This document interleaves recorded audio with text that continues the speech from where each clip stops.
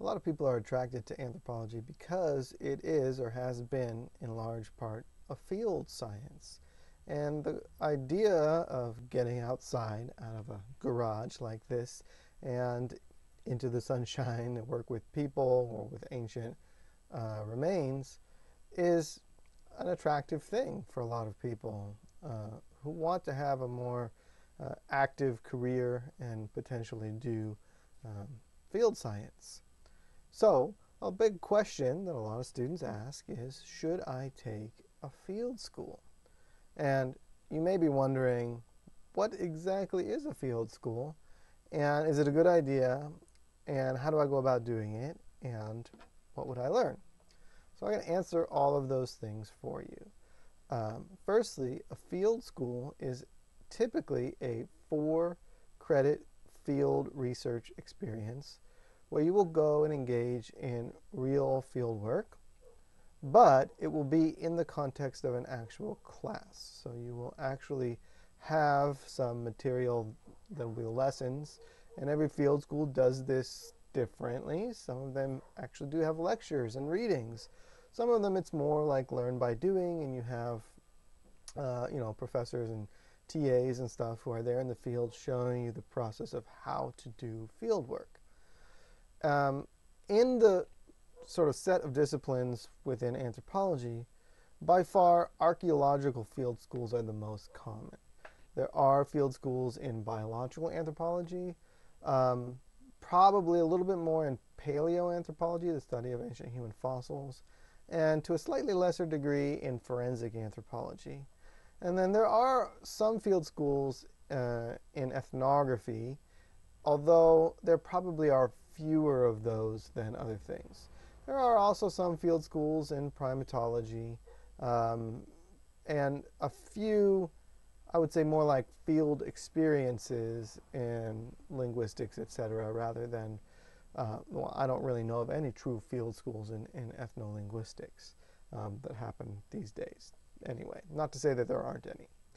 So, that's what field schools are. They're a field experience that is set up as a course that you take typically for credit, although sometimes not for credit, so you have to pay attention to that. And they can take place locally, they can take place somewhere else in the country, or they can take place internationally. And you have a sort of suite of choices in front of you when you're trying to decide if you should do one and which one you should do. And Firstly, you should think about whether a field school is right for you. So if you're planning to go on in a career that is firmly within anthropology, especially in cultural resource management, they almost uh, employers almost require you to have some field experience. And a field school, an accredited field school, would be the one thing that they'd be looking for on your resume when you're applying for your first jobs. Um, there are some field schools that are particularly set up to teach you how to do cultural resource management style of archaeology, and I have a list of some resources in the um, um, Canvas description for this segment here that links to the Registry of uh, Professional Archaeologists list of accredited field schools, credited for field for cultural resource management. So those are ones that are really good for that, but almost any field school is probably going to be enough get you that first job. Um, the second thing you should think of is um, even if you're not going to go on in the field of anthropology specifically, do I want to have a field experience? What could it bring to me in general, even if I don't go on in something explicitly anthropological and I'm going to go into a different career but use my anthropological training? And the answer to that is well, it kind of depends on you, but I tend to think that field school experiences are really uh, indelible experiences that help shape um, students and really are often formative for people who, even if they don't go on in archaeology or anthropology, they often look back and think of that as some, one of the best things they ever did uh, in college, especially. So I, I think you should think about it. Now, what are the downsides of going on a field school? Well, almost all of them cost money. Yeah, I know. It's the scourge of our existence. Um, some of them are more expensive than others. Some of them have financial aid available. Some of them have scholarships available. So you have to do your research. Um, there are scholarships available from some societies, like Society for American uh, Archaeology, Society for California Archaeology, few other places, uh, American Association of Anthropology, often have a few scholarships available, um, although these are very competitive and sometimes hard to give, get. Um, some of the actual field schools themselves, if they have a funding source, they may have independent scholarships available. Um, so it's uh, important for you to do your homework. If you're taking these for credit, they will count within your, uh, at least the tuition part will count within your general scope of whatever financial aid that you're getting. So it's possible to secure some financial aid through whatever route you're already getting it that might cover those uh, the, the sort of tuition part of it. Uh, now, often field schools have tuition, and then they also have a program fee, which covers typically your room and board, and uh, sometimes some material fees for, you know, materials they need to, to do the field school. And that can be kind of expensive depending on where in the world it is, how long the field school is going. Could be anywhere from a few hundred dollars to a couple thousand dollars. And, and you have to pay attention to those fees because they're on top of your tuition.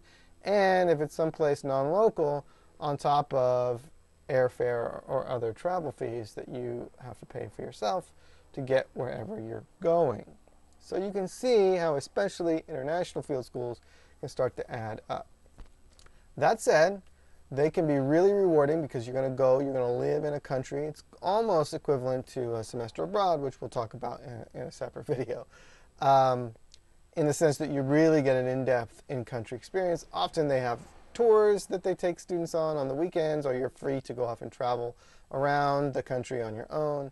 I have led one field school, and it was international, and it was in Spain. And um, we had a pretty good time despite the fact that it actually rained. We were in northern Spain where, where it is not sunny all the time. It actually rains in the summertime. Um, but students had a blast and they traveled around, and uh, I enjoyed my experience as well. And we excavated at a sort of Iron Age and Roman period site, which was not at all anything that I normally do, so it was kind of a fun change of pace archaeologically for me.